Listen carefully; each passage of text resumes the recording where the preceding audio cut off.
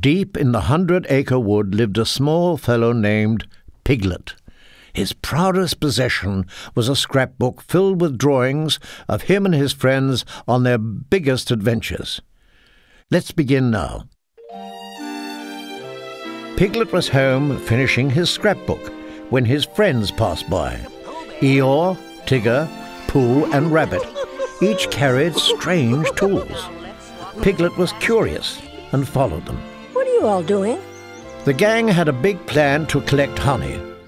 Rabbit planned to attract bees with music as Eeyore lured them into a new hive held by Tigger. Pooh would collect the honey. Piglet was eager to take part. Can I help you with your big plan? His friends felt Piglet would not be helpful. Tigger tried to let him down easy. When we have a bit smaller of a plan, or when you're a bit bigger of a piglet. All but Piglet took their places as Rabbit began playing his violin. The music was so painful, it made the bees stinging mad. Piglet tried to alert Pooh of the approaching swarm. Oh, do the bees know the plan? Piglet, don't get in the way of our big plan.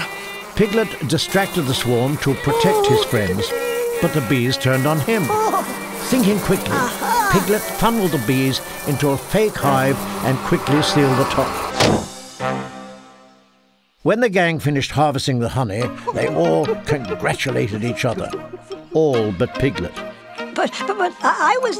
Rabbit felt bad. Oh, Piglet, I'm sorry that you couldn't be part of our big plan. Piglet wandered off to the woods, daydreaming. Ah, it'd sure be nice if my friends needed me. The rest of the gang celebrated the success of their honey harvest when Pooh noticed the fake hive shaking. Did you hear something? Suddenly, the angry contents burst out. Bees! Rabbit ordered everyone to escape. It's your honey or your life. Come on.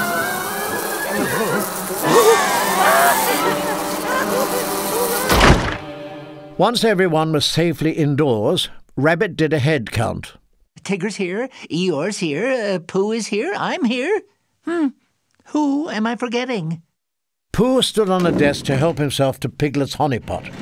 Off balance, Pooh spilled himself, along with Piglet's scrapbook, onto the floor. Tigger helped Pooh up. Say, what do we have here?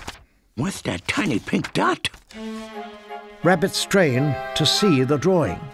I believe it's Piglet. Where is Piglet? We must have lost track of him after we got chased by the bees. Pooh initiated a new plan. We have to find him and make sure he's all right. Oh, think, think, think. Since this is a book of Piglet's memories, maybe it remembers where Piglet is. Always the practical one, Rabbit protested. That's the silliest thing I've ever heard. Well, page one remembers Owl's house. So off they went. Within moments after his friends left, Piglet returned to the honey harvest, shocked to find the grounds a mess. Eeyore? Oh, where are you? Tigger? Oh no, the bees! What can I do? Knowing that this was his big chance to prove himself, he confidently marched off. Maybe my friends need me. I have to find them. The gang arrived at Owl's and hoped that he had a quick answer for them regarding Piglet's whereabouts. Piglet? of course, I've seen Piglet many times. He's about so high with little pink ears and a curly tail. Not getting anywhere with Owl, Rabbit pushed the gang out the door as Owl rambled on. I told you this was a silly idea. Tigger and Eeyore were not ready to give up. But he was just at Owl's. That scrappity book does know where he's going. How about page two, which is a picture of? Rabbit interrupted and made the idea his own. Kanga's house is where we'll look for Piglet.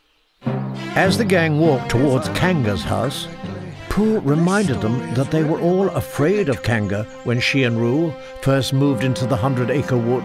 Rabbit? Rabbit and Pooh recall the time they swapped out Piglet for Roo, hoping to learn more about their new neighbors. You know, if it weren't for Piglet, We'd never have found out how nice Kanga was. Tigger robustly embraced Kanga at her door. We're so glad you didn't leave. What are you talking about, Tigger? Rabbit cut Tigger off. how Piglet took a bath for us. Not just any old buddy do something that brave for his friends. It was a very biggish thing for a littleish guy to do. Pooh explained how they lost Piglet and how the scrapbook was helping them find him. Roo joined the search party. Page three shows all of us at the North Pole. The friends could not agree which way to go. Pooh looked for answers. Perhaps if we told the story, the story would tell us how to get there. Don't forget the part about Piglet. Oh, Roo's right. It really is a story about Piglet, isn't it? The pictures told the tale of Christopher Robin leading the expedition to find the North Pole, although no one knew where or what it was. On the way, Roo fell into a river. Piglet saved Roo using a stick, which he later handed to Pooh. Pooh recalled how the gang celebrated him because they thought he found the North Pole. Hooray for Pooh. I always like that story. It is such a lovely end. Roo felt sorry. But nobody said hooray for Piglet. He was so brave. For someone so small. Thank you, Piglet, wherever you are. Pooh was startled when Roo made a discovery. Piglet's scarf! Oh my. You know, Piglet's scarf never goes anywhere without Piglet. You think he's gonna be alright? Oh, Piglet shall be very all right indeed. Don't let his small size worry you. Eeyore agreed. Yep. Once he even made a whole house. Pooh explained the pictures in the scrapbook that illustrated his and Tigger's failed attempts, then Piglet's success in building a house for Eeyore. Roo was in awe. You mean Piglet built Eeyore's house all by himself? Yes, and that's just how much Piglet cares. The area was dubbed Pooh Corner, even though it was Piglet's idea. The search party was more determined than ever to find Piglet and picked up the pace. Tigger jumped into action. Hey, I just got a terrific idea. Let's see where the book ends and go there. It started to rain. Tigger grabbed the book to keep Rabbit from smearing the pictures. Rabbit, the book. You're ruining it, Rabbit. In their struggle, the book ripped, flew off the bridge, and washed away down the street. The gang was heartbroken to have lost the book and Piglet's memories. Suddenly, remembering how cold and wet they were, they returned to Piglet's to get warm. As they headed out, Pooh found one of the pictures from Piglet's book. He sadly noticed it was from the house at Pooh Corner. Oh, I do wish I had called it Pooh and Piglet Corner. The storm continued outside, but the friends stayed warm inside. Roo drew a picture of Piglet in the window condensation. Pooh added a smile. That's the Piglet I know. Always glad to see you. The friends took turns praising their friend. Always thoughtful. Always brave. Never thinking of himself. They continued drawing more of their memories on paper, surrounding themselves with their favorite memories of Piglet. The pictures warmed their hearts and brought new energy to their search. Roo led the way. We gotta go get Piglet! Let's go Yes, find yes, Piglet come and on, get let's that go. little guy. The search party retraced their steps to the bridge. Rabbit stopped in his tracks. Look! Oh, look what I found! Pooh was overjoyed. It's one of Piglet's scrapbook pages. Hoping to rebuild the book to help them find Piglet, the group scurried all over, collecting pages.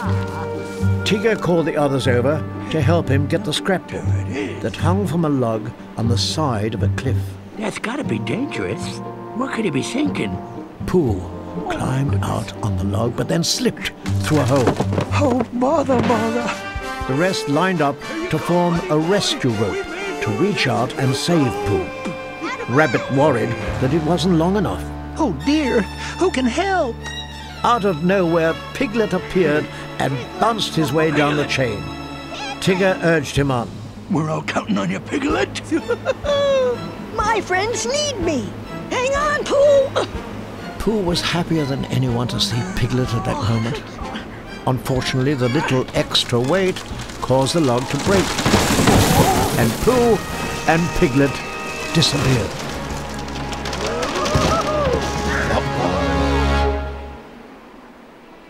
The group cried for their two lost friends, unaware that Pooh and Piglet safely rolled out the other side of the log.